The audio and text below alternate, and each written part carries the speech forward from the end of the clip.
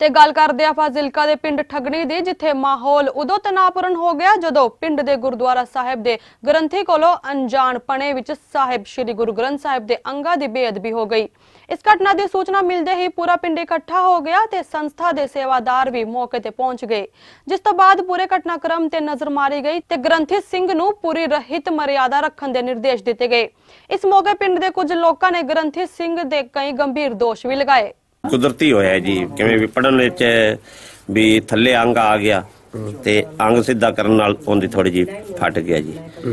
ਤੇ ਜਿਹੜਾ ਹੈਗਾ ਆਪਣਾ ਦੂਜੀ ਜਿਲਤ ਜੀ। ਜਿਲਤ ਵੀ ਥੱਲੇ ਆ ਕੇ ਤੇ ਸਿੱਧਾ ਕਰਨ ਨਾਲ ਟੁੱਟ ਗਈ ਜੀ। ਨਹੀਂ ਜੀ ਨਗੈਲੀਆਂ ਤਾਂ ਕੁਝ ਹੋ ਵੀ ਗਈਆਂ। ਕੁਛ ਅੱਗੇ ਤੋਂ ਸੁਧਾਰ ਹੋ ਜਾਏਗਾ। ਅੱਜ ਤੋਂ ਉਹਨੂੰ ਇਹ ਚੇਤਾਵਨੀ ਦੇ ਦਿੱਤੀ ਵੀ ਅੱਜ ਤੋਂ ਬਾਅਦ ਰਹਿਤ ਮਰਜ਼ਾਦਾ ਦੇ ਵਿੱਚ ਤੂੰ ਪੂਰਾ ਹੋਣਾ। ਜੇ ਰਹਿਤ ਮਰਜ਼ਾਦਾ ਵਿੱਚ ਕੋਈ ਕਮੀ ਦਿਸੀ ਫਿਰ ਸਿੱਖ ਕੌਮ, ਏਕ ਨੂਰ ਖਾਲਸਾ ਜਥੇਬੰਦੀ ਤੇ ਨਾਲ ਸਿੰਘ, ਉਹ ਅਸੀਂ ਤੈਨੂੰ ਆ ਕੇ ਆਪ ਸਿੱਧਾ ਸੋਧਾ ਲਾਵਾਂਗੇ, ਫਿਰ ਤੇਰੀ ਜ਼ਿੰਮੇਵਾਰੀ ਹੋਵੇਗੀ, ਜੇ ਕਮੀ ਹੋਈ ਤਾਂ ਗੁਰੂ ਗ੍ਰੰਥ ਸਾਹਿਬ ਮਹਾਰਾਜ ਜੀ ਦੇ ਵਿੱਚ। ਤੇ ਜਿਹੜੇ ਪਾਤਸ਼ਾਹ ਜੀ ਦੇ ਅੰਗ ਨੇ, ਉਹ ਇਸ ਤਰ੍ਹਾਂ ਦੀ ਜਿਹੜੀਆਂ ਗਲਤੀਆਂ ਨੇ ਅੱਗੇ ਤੋਂ ਨਹੀਂ, ਤੇ ਨਾਲ ਇਹਨਾਂ ਨੂੰ ਇਹ ਸਜ਼ਾ ਲਾ ਦਿੱਤੀ ਹੈ ਵੀ ਸੁਖਮਨੀ ਸਾਹਿਬ ਦਾ ਪਾਠ ਕਰਾ ਕੇ ਗੁਰੂ ਸਾਹਿਬ ਅੱਗੇ ਅਰਦਾਸ ਕਰੇ।